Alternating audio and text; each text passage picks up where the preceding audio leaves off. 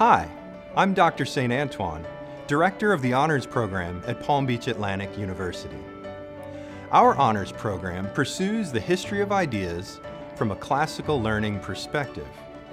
Students who value a classical education will enjoy learning from our honors faculty who share their love of the great books and the history of ideas. Our goal is to prepare students for a life well lived. We are convinced that the authors and thinkers of the permanent books can guide us in the pursuit of virtue, faith, and character.